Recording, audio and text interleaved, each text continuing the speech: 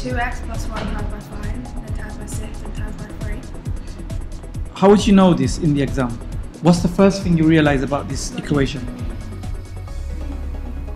There's an algebraic fraction equation. Say say it slowly. Is an algebraic fraction equation. Al- Algebraic. Algebraic. algebraic.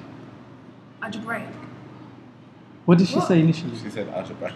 Algebraic. Right. You know, that's coming on YouTube.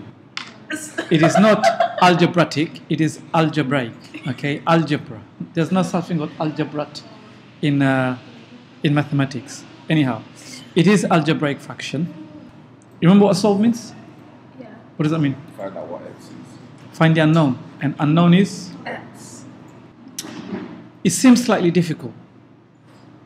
But if you follow simple principles, it's a bit long winded, but be have a structured approach, you should be fine. How do we add fractions? The denominators The have to be the denominator has to be the same. Correct. So we could make the denominator the same and express it algebraically. Uh, another way is um, we could try to get rid of the denominator by applying the Inverse. inverse rule. Thank you. So how do we do that? Firstly, I've said that from the start. what do we do? Times it by everything. Uh, see again, you're using the term you time you times it by everything. What does that mean? Uh, We times 2x plus 1. hmm. What do you want to get rid of first? 2x, The 2x plus 1 expression or the x plus 1? The 2x plus 1. Right. How do I do that? The one just say it. 2x plus 1 times 5. You have to. In brackets. Okay. 6. Then what do I do? 6. 6. 6 times what? 2x plus 1.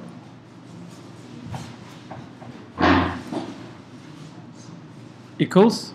3 times 2x plus 1. Good.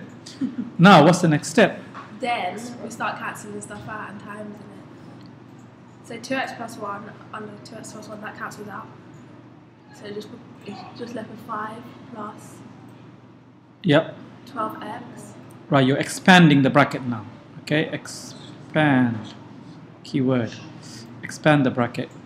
You got 12x. Yep, 6 yep. over x plus 1. Equals two. 6x plus 3. expand again. Good. Next step. And then we do the same again, we do x plus 1, and then we times that by 5, then So we're trying to get rid of the X x plus 1 term. And we multiply every other term with x plus 1, including this one. So 5 times X plus 1. all of it, x plus 1 plus. 12x. Do we need to bother writing it or can we just cancel it out here? We can just And, cancel it out. okay, let, let, let's write it for the. Because to have a consistency. I'm And then 12x plus 6. Yes, that times that, isn't it? Yeah. All of that times all of that over equals to 6x plus 3. 6x plus 3 times. X plus 1. So then Good. those two cancel out. What cancels out? The x plus 1 and the x plus Good. 1. Now, what do we do? We, 5x plus 5. we expand. Oops. 5x Plus plus 5. 5 Plus 12x. plus 12x plus 6 equals. 6x squared. Ah. What's the method for us to do this? Oh, grid method. Well done, grid method. Oh, that's long. So it might be long, So you can just do it mentally. I know, but sometimes people get it wrong. So I'm going to teach them grid method, especially when you have negative terms. I got 6x here, 3 here, multiplied with, what goes there? x. And then? 1. Right, so 6x squared, 3x, 6x. 6x squared, 3x. yeah, 6x. 6x. 3. Well done. So how do I simplify that now? Um, Like- like 3x and 6x, that equals 9x. Plus 9x. Plus Plus 3. 3. Okay? So that will equal to 6x 6x squared squared. plus 9x plus 3. good. Then what do I do? We collect like terms again. So 12x plus 5x, that's going to give you 17x. So be careful of the sign. 12x plus 5x gives you 17x And then plus 11. plus 11. plus 5 plus 6 equals to 6x, 6x squared plus 9 plus 3. now what do you notice right now at this stage Um, that it is a quadratic quadratic. Therefore, we have to make it a zero Good. signs. so in order to solve a quadratic equation we You need to make We- a equal to 0. how do we solve quadratic equation how do we solve quadratic equation I'm just going to say minus it. Have to equal to 0. It does equal to 0 um, after we rearrange but how do we solve quadratic equation Putting it in two brackets. what, what, what do you call that Factorize. Good, we factorize it. But before we can factorize, we have to put the terms in one side and make the quadratic equation equal to zero. So how do we do that? Minus 17x. Minus 17x. So I've got, change the color. So I've got here, that cancels out. So 11 equals to 6x squared plus 9x plus 3 minus 17x. Right, so we need to simplify now. Um, or maybe 9x minus 17x is what? Minus 8x. So 11 equals to 6x squared minus 8x. And then Plus 3. Plus finally we need to get rid of the 11 minus 11 both side. We can simplify it straight away. That cancels out. So that's 0. 6x squared minus 8x Minus 8. minus 8. Our A is 6, B is, Minus 8. C is, Minus 8. so we're going to factorize, okay? Up I have space here. So AC, Plus 48. you sure is 48? Minus Minus 48. So what's next? Then we do 6x squared. 6x. No. After finding AC, what do we do? Oh, we find two Find two factors that go factors, into 48. Product of two numbers, that is minus 48, Yeah. To- And the sum. and the of sum is, okay. 8 minus So product. Um, what two numbers then? 4 and 4 and 12 go into 48. 12 and 4. Yeah.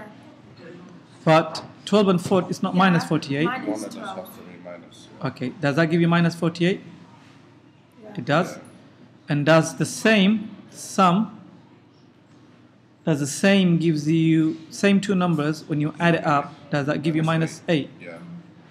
Yeah, it does. So actually we found our two values, haven't we? Yeah. So then what do we do? Put that into the equation. We rewrite the equation. Okay, so 0 equals to 6x squared 6x squared minus 12 x plus 4x equals.